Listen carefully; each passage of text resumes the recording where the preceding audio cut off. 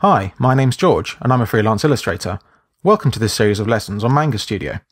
Manga Studio has many different features that aren't present in other software, like tools to make perspective drawing quick and easy, rulers for precise drawing, and even dedicated tools to make your own comics, and so it plays a key part in my current work process.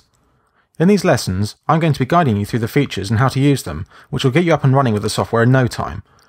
These lessons are geared towards people who have prior basic knowledge of another graphics program, such as Photoshop, as I'll be making comparisons as we explore each feature. For these lessons, you'll need a copy of Manga Studio, or in my case, Clip Studio, which is exactly the same software, but it's been renamed if you bought it digitally. I'm using version 1.3, which is the same as Manga Studio 5.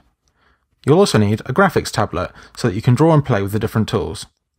When you're ready, move on to the next video and we can get started.